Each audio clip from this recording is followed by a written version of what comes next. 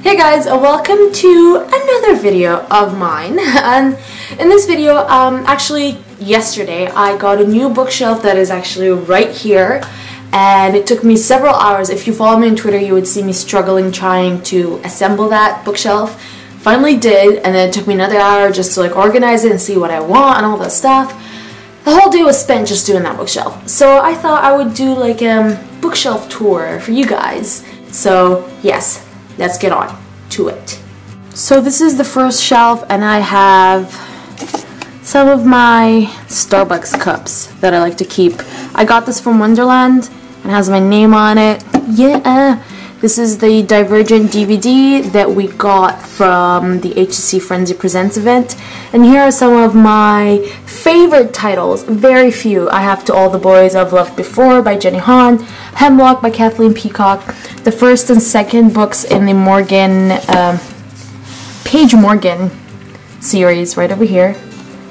Uh, then I have my If I Stay movie cover edition because oh, I love that book, as well as my normal edition, The Sea Tranquility, which I have been recommending to every single person, and my trilogy of the Shatter Me series trilogy. Yeah, okay. Second row. In this second row, I have I'm going to do this as sort of a feature um, section where I will be featuring a book or a series that I recently read but I'm sort of obsessing about and this will be The Shadows and which is actually the Rephaim uh, quartet. The first one is Shadows and the second one is Haze.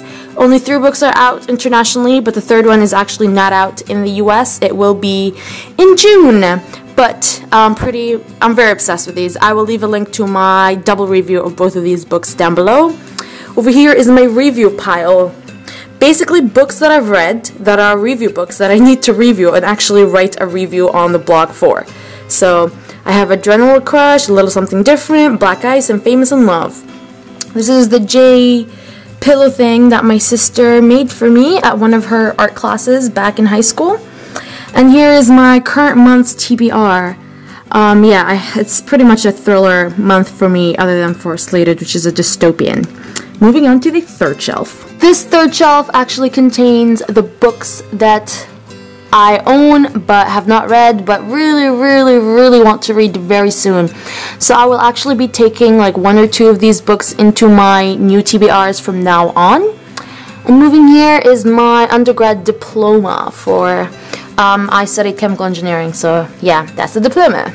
Down here is my book haul which I don't want to show you they're pretty much the books that I uh, want or need to film a book haul for. So I kind of accumulate them over there, right here.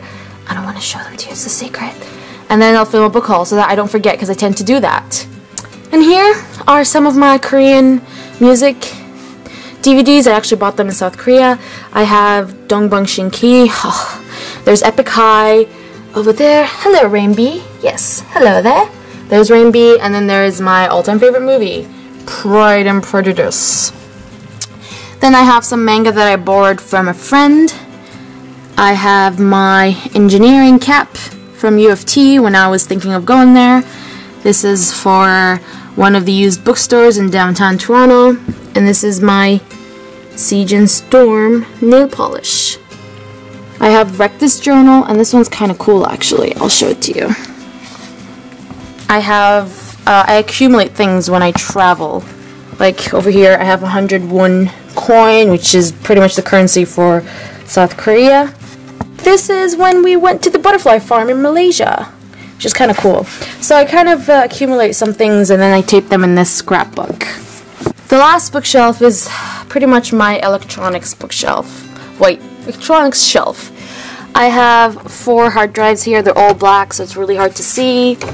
Right here, there's one, there's two, and there's the big ones.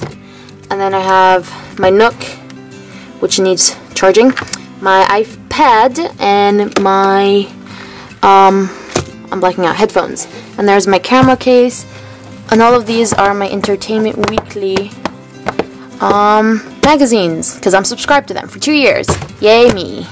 So this is a total overview of my new bookshelf or just, you know, case, I guess, because they're not all books. I'm really happy with all, oh, let's not show that. I'm really happy with all of them. I needed some books in my room because they're all outside. So now I have many of them in my room. I don't want to touch them in case they fall.